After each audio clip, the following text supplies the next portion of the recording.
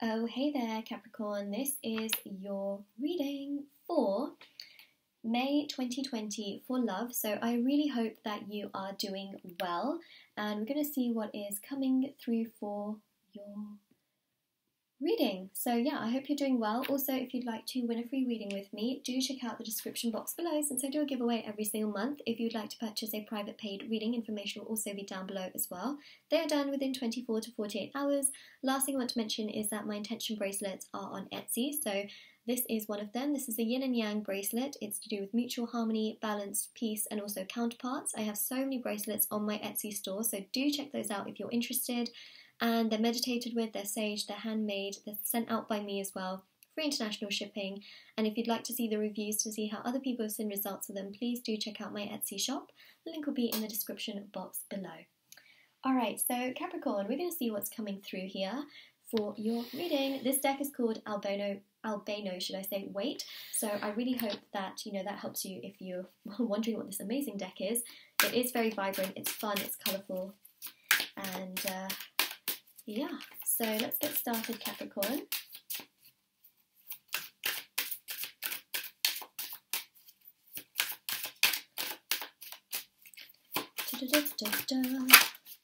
you know, today would be really nice. I mean, if we got cards out today, that would be that would be wonderful. We have actually got cards out. We got uh, got a bunch of them. So we got the two of cups. We got the four of Wands, we've got the Six of Swords, we've got the Empress, we've got the Nine of Cups and the Ace of Wands. Do you know, I keep seeing the Four of Wands so much lately, so much, even in um, private readings for clients as well. I just keep seeing the Four of Wands so much.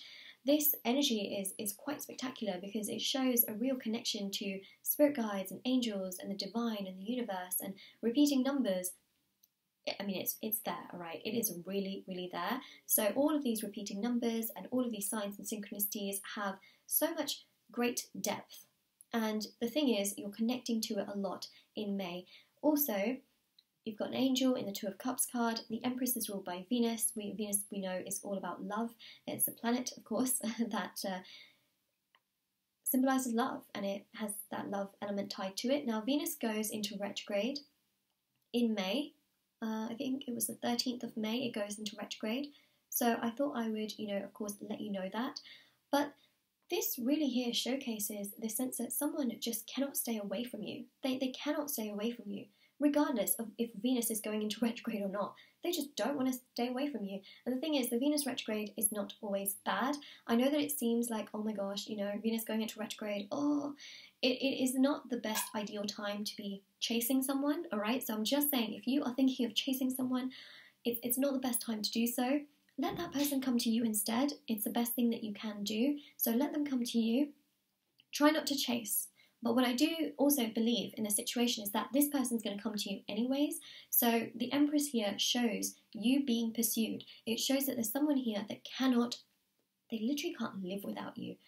Oh my god, what an energy to say that is on the, the cards. Sorry, I'm like losing my voice at the same time. That didn't really make much sense, but what a what a phrase, right? What a phrase, what an energy that we have coming through where this person literally cannot live without you.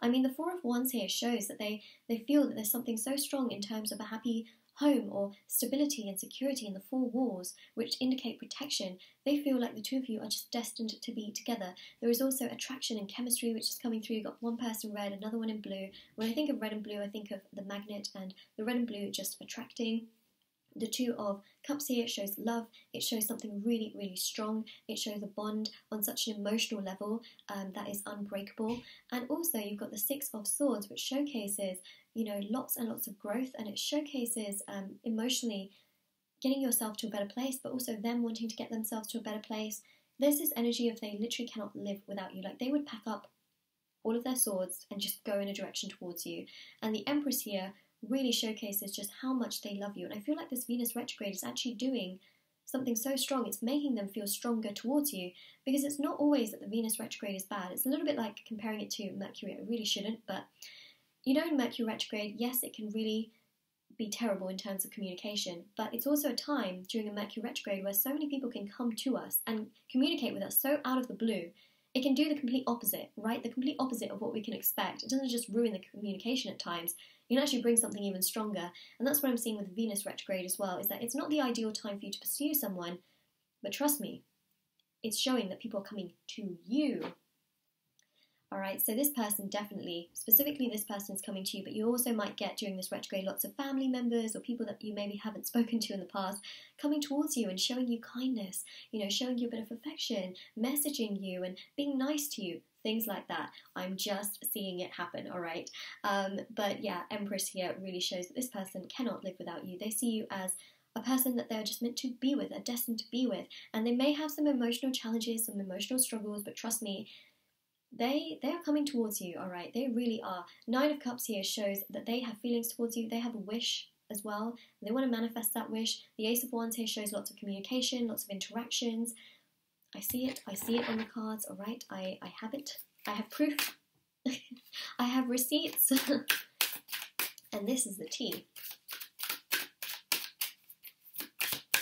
The tea is hot. Let's just say that you know. Very very hot Nine of Wands. See, this person is thinking so much about you. This is about wondering, pondering, contemplating. It's also about potential and progress. They want to make things work with you. They want to put two and two together. You know, they really do. Page of Cups, yeah, they really want to come forward towards you. They want to make things manifest and they want to progress things with you here as well.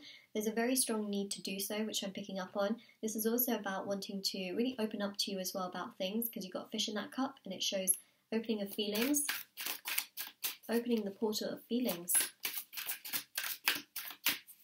I feel like I just, it may have come across as I said porter, I meant portal, portal, but the way I say obviously with my voice and it may sound completely different. I don't mean porter, I mean portal.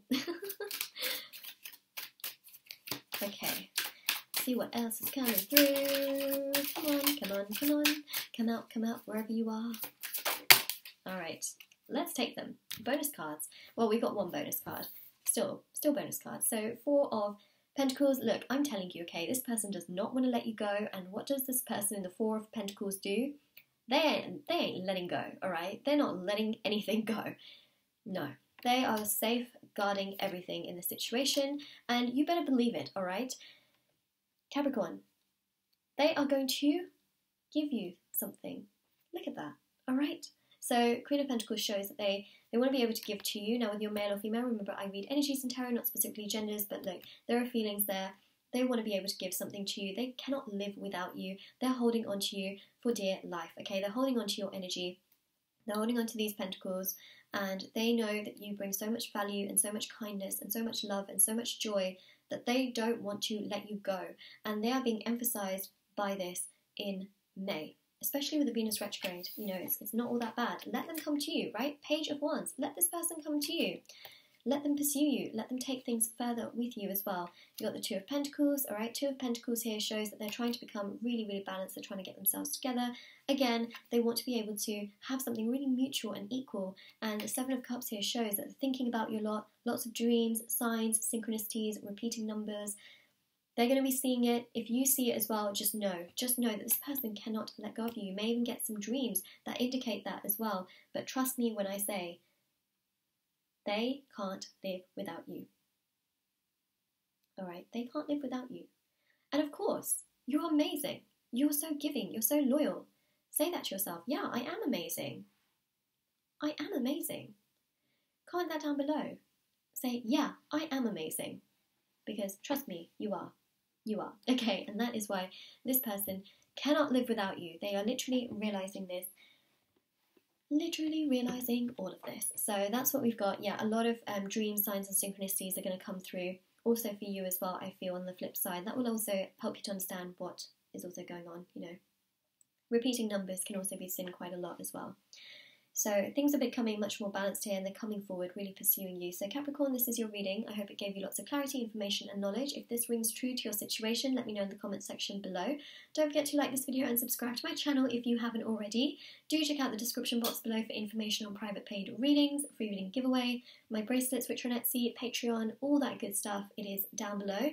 And I hope you have a lovely day or night wherever you are, whenever you're watching this, and do take care of yourself as well. All right, take care, Capricorn. Bye.